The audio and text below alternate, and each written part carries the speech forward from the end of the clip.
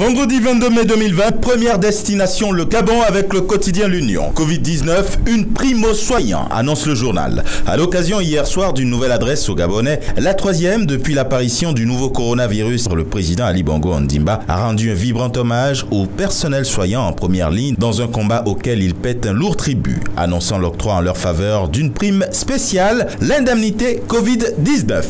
De Covid-19, il est également question en manchette de Togo Matin, mais cette fois-ci on parle d'augmentation des cas au Togo. Le professeur colonel Dibril Mohamed donne les raisons de cette hausse. Et Liberté s'intéresse à la présidentielle de 2020. Monitoring citoyen, il y a un doute évident sur le vainqueur désigné, rapporte Togo Debout et les FCD. Au Mali, Nouvel Horizon fait état de la libération de 400 prisonniers. Bandiougou Djoumbia et certains terroristes auraient-ils servi de rançon pour la libération de Soumaïla Sissé? Interroge le journal.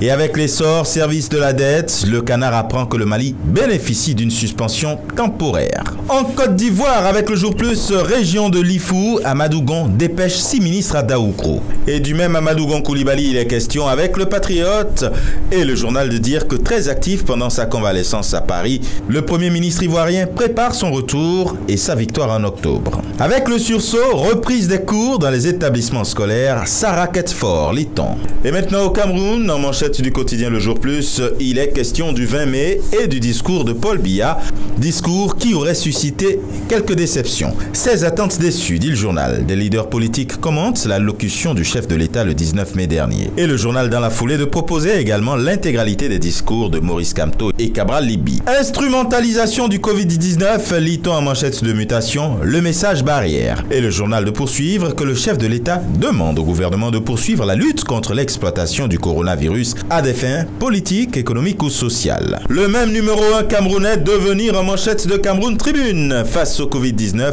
Paul Biya prône l'union sacrée, lit-on ici. Et maintenant au Bénin, Fraternité revient sur les communales 2020. La vérité des urnes, dit le journal. Amoussou, Biotiane et Ompe, le trio gagnant, lit-on. Une actualité à laquelle s'est également intéressé le quotidien La Nation. Résultat provisoire des élections municipales et communales, nouvelle configuration de l'échiquier politique. L'élection du maire s'annonce rude dans 17 communes, conclut le journal. Et enfin, le quotidien Le Matin se fait un peu plus exhaustif, communal et municipal de 2020. Union progressiste, 820 sièges, Bloc républicain, 735 sièges, et Force Cori pour un Bénin émergent, 260 sièges. Et le journal de proposer également la liste complète des candidats élus. Et ce sera tout pour aujourd'hui. Mais encore, prudence, vigilance et surtout, n'oubliez pas les gestes barrières. Bon début de week-end à la semaine prochaine.